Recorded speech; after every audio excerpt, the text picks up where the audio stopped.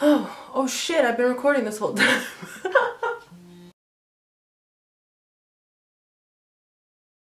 hey guys, so today's video is going to be a mix and array of different things. Um, it's really weird for me to even like film this because it's just, it just is.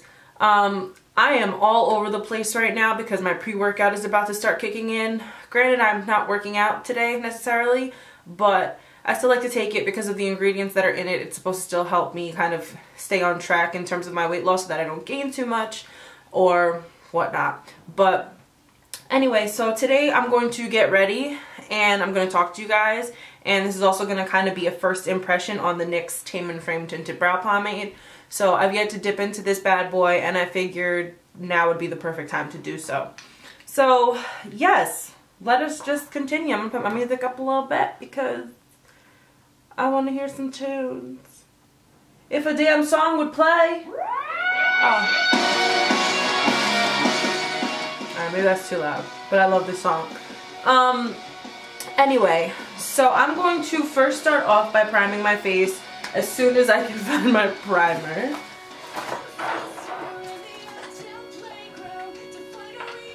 Alright, so I'm going to use the Neutrogena Healthy Skin Primer because I feel like my skin is super dry right now and it could use a little extra moisture.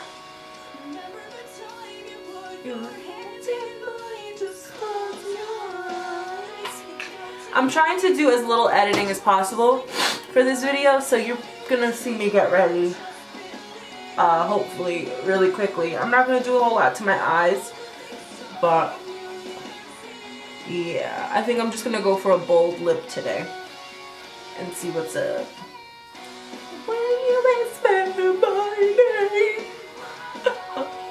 Okay, now that that's on, let me actually get my hair out of the way.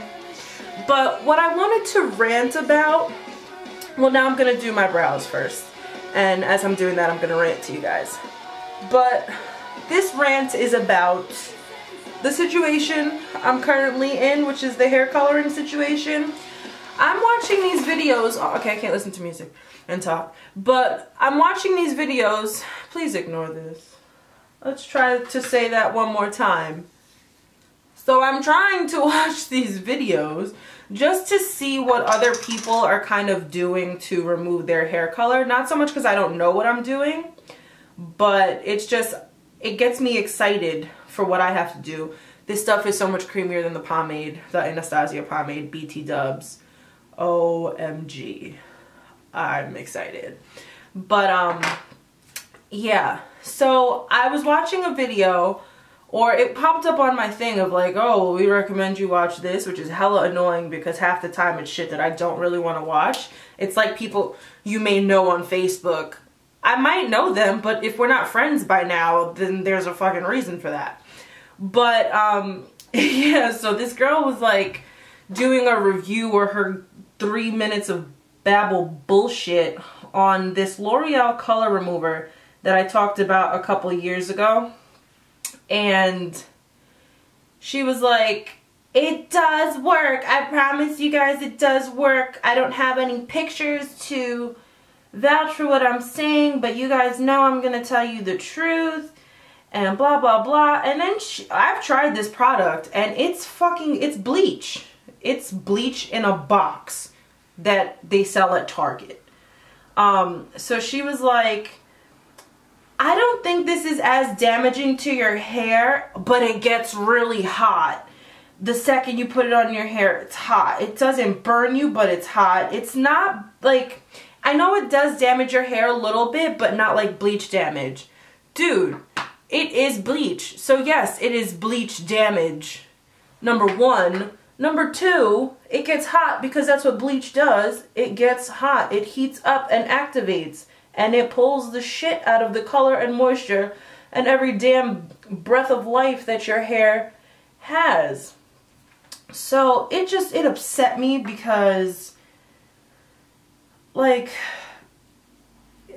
if you're going to talk about a product and you're going to make these claims, know what the hell you're talking about and make sure you have all your facts because someone who will have fragile as fuck hair will probably take your word for it that it's not bleach. And as soon as they put that shit on their hair and their hair shaft just snaps, they're going to have a conniption and it's going to be your fault. Which is why the only thing I feel like I don't have knowledge in are fitness things. Um, well, not complete knowledge. Like I know what some stuff does or whatever it is that I'm taking, what I've spent my money on, what that stuff does. But when it comes down to hair, like I'm, it's not even because I went to cosmetology school because I knew what the hell I was talking about way before that. I've been doing hair since I was eight um, and doing other people's hair since I was probably like, I don't know, I want to say 10 or 11. And so, I mean, I have pretty damn good experience with hair, so I know what I'm talking about. But it just, it really bothers me when people don't know what they're talking about and they're trying to tell people that they need to go get this, that, and the third. It's like, but no, they really don't. You actually need to get your shit together and check your facts, girl. And I was to be an asshole and actually tell her like, but it's bleach. So what are you talking about? But it was a video from two years ago. I'm a person who's just like, if it's really that old, like it's super irrelevant. Like I hate when people comment on my old videos and they talk shit or whatever the case is. And it's just like, move on with your life, please. So I was like, whatever.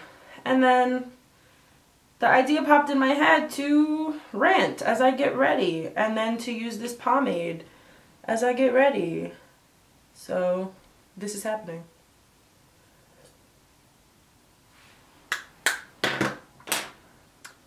These are not exactly the best brows that I've done, but like I said, I'm trying to do as little editing as possible. So they're not that bad. I mean, I guess I'll clean them up but whatever. Alright, so I clean them up as much as I possibly could or as much as I really want to right now. And I'm not used to having really light eyebrows like this, but I mean, it is what it is. But I really do like this pomade. It is really creamy. Um, I don't know. I don't think it claims to be waterproof, so this is where it might be different than the pomade um, by Anastasia, but their definite brow gel in a tube is Anastasia's pomade, period. Um, so yeah, I'm going to just set these brows a little bit with something a little darker, and then we can move on to the rest of the face. Alright, so for my face today, I'm going to use my MAC Pro Longwear Foundation. I actually don't want to really even wear foundation, but I'm gonna just because it's in my face and I'm putting it on right now so that's happening. I don't think there's anything else I really want to rant about necessarily but um by the time you guys are seeing this video I will be taking my written exam for my cosmetology license. Oh my god, which reminds me it should be like in the mail today which is the 13th. Oh, Friday the 13th. Oh, I don't know how I feel about that. But I want to get a tattoo on Friday the 13th. I think I'm going to go next month because that's the last Friday the 13th until November. And I think I want to save up for a bigger tattoo for my birthday in November. So getting a mini one would be stupid. But, um, wow. I love how quickly I lose my train of thought. There we go. So I will be taking, in about two weeks, my written exam. And I'm nervous. So actually today, I tried it yesterday to study and I took my school book that I had, duh, from school, and it had like practice tests in it and everything like that. And there was one that was a final. So I was attempting to study that, but then my sister came over and I just lost all train of thought and I was like, screw it. This thing is weeks away. I'll cram closer to it, which is never really a good thing in life to cram because it's just not productive. Granted, that's how I got through high school, but I had a 1.2 GPA because I was just always really, really high for senior year and going through so much stuff. But yeah. Oh, I just, I love my Pro Longwear. It is da bomb. So for the sake of this video being like 60 minutes long, I'm gonna just put on my concealer, do my eyeliner, and then put on my lips and I'll come back and I'll talk to you guys real quick.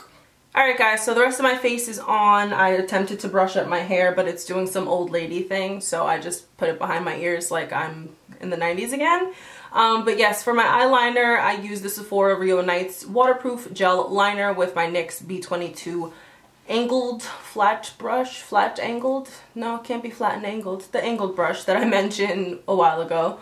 Um, my lips I have on MAC's Cork Liner with Viva Glam Rihanna 2 and in the corners and then just mixed throughout the rest of the lip I added a little bit of Black Cherry from Milani and I think it's pretty dope. And for my blush I use this Wet n Wild Berry Shimmer.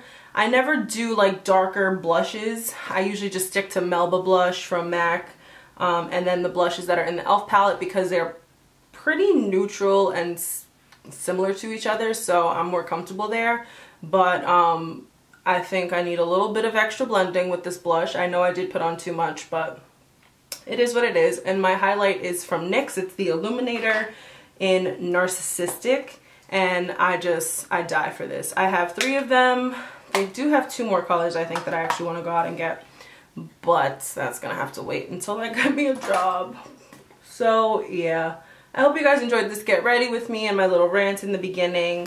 I just really needed a video to put out for today, so I'm sorry if this is not the best quality, but I have some pretty good stuff coming up in the coming weeks, and I'm excited for it. So, like I said, I hope you guys enjoyed this video. Follow me on all of my social media, which will be linked down below. Subscribe to my channel if you haven't yet.